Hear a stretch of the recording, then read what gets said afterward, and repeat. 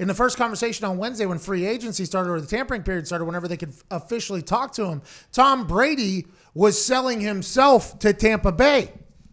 Tom Brady, the greatest quarterback of all time, called Tampa Bay and said, This is why you should take me.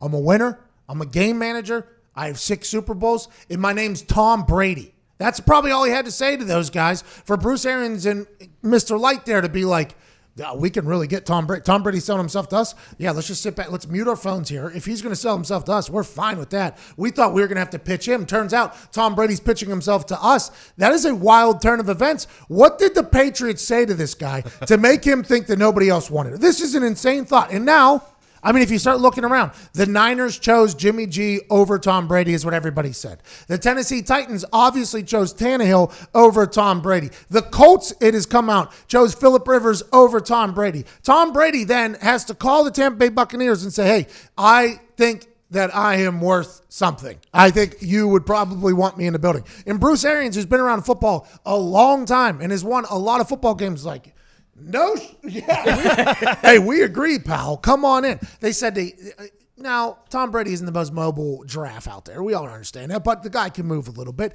They said that wasn't even something they were interested in looking at. They said his arm was perfect for the Bruce Arians system. And you got to remember, there's some stat that came out from some stats people, whether it was the uh, Amazon stat people, the pro football focus stat people, the the other nerd, whatever nerds gave us the stats. There was a stat that said for passes 20 plus yards down the field into a tight window, the top two QBRs who were actually tied for first were Tom Brady and Jameis Winston for completing tight coverage passes 20 yards down the field or more. So that narrative that Tom Brady didn't have a good, I think it might have came from Hembo actually on ESPN's Get Up on that same show. That narrative that Tom Brady couldn't throw the ball down the field anymore was debunked by that one stat, which by the way, some stats are interesting. Some stats are just being painted to fit a narrative. But in that narrative that we're trying to talk about Tom Brady's arm not being great, that one stat right there says, well, that's probably not accurate. I think Tom Brady is going to be on, just like Cam Newton, by the way. These are two MVPs who have been kind of told to get the hell out, basically. Ah! So sorry to interrupt. If you're a man watching this, you deserve to have long, great. And you can do that now with our friends at Roman. Right now, you go to getroman.com, you get $10 off and free two day shipping on Roman swipes, which are guaranteed to make you have longer, more fulfilling every time you get in the sack. Now let's get back to the fornicating action. Tom Brady was it by four teams. Cam Newton was it by at least one team in the Carolina Panthers who are paying the same exact contract for another quarterback who hasn't started for years. Hasn't started for years. I mean, last year he did in replacement of Drew Brees, but being a starting quarterback, I think those two guys are primed for a great year next year. And the fact that old Licht had to come out and say, like, yeah, man, he was actually selling us on getting him down there. So what was that conversation with uh, Jeter and Gates and the Tampa Bay Lightning owner then? Was that him being like, if I was to come here, what would we do? Mm-hmm. And Bill Gates like, well, build Tom Town. He's like, all right, I got to convince the Buccaneers now. Let me figure out if I can make that happen. That's insane to me. I think he's going to do a great job. And I bet you Bruce Arians and all them are pumped to have him. And I assume after these two years, Tom Brady's confidence is going to be at a different level than it is coming out of this relationship with the Patriots. Yeah, it's wild that we live in a, in a world right now where Tom Brady, his confidence is so low that he had to sell himself to the Tampa Bay Buccaneers. That's wild. And, and then a 30 year old Cam Newton also is trying to sell himself on Instagram just to get a starting job in the NFL. This is a wild time to be alive right now in the NFL.